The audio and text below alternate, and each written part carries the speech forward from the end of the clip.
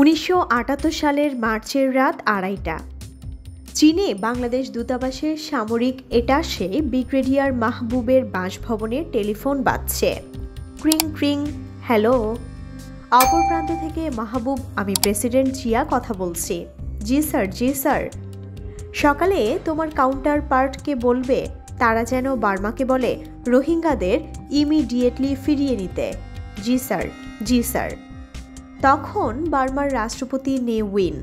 ঠিক ওই সময় রোহিঙ্গা মুসলমানদের আবাসভূমি থেকে উচ্ছেদের উদ্দেশ্যে বার্মিজ বাহিনী বর্বরচিত নির্যাতন শুরু করে।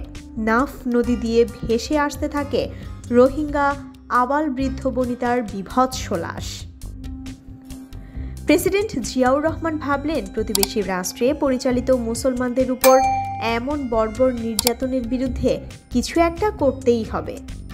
রাষ্ট্রপতি জিয়াউর রহমান, চট্টগ্রাম সেনানিবাসের জিওসিকে নির্দেশ প্রদান করেন।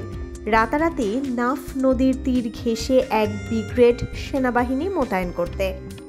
পরদিন বার্মার রাষ্ট্রপতি নে উইন হঠাৎ সীমান্তে বাংলাদেশের বিপুল পরিমাণে আর্মির উপস্থিতিতে কিং কর্তব্য বিমূর হয়ে পড়েন। নে উইন বাংলাদেশকে থামাতে জাতিসংঘের দ্বারস্থ হন।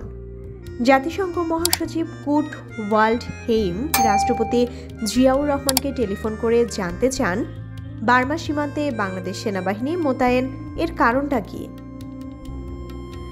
প্রেসিডেন্ট জিয়া জাতিসংঘ মহাসচিবকে তার উত্তরে বললেন our military went there just for a picnic not anything else আমাদের সেনাবাহিনী সেখানে একটা পিকনিক পার্টি করতে জমায়েত হয়েছে, অন্য কোনো জটিল বিষয় নয়।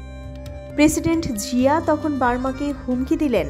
যদি দ্বিপাক্ষিক আলোচনার ভিত্তিতে রোহিঙ্গাদের ফেরত না নেওয়া হয়, তাহলে বাংলাদেশ সরকার তাদের অস্ত্র সরবরাহ করতে বাধ্য হবে।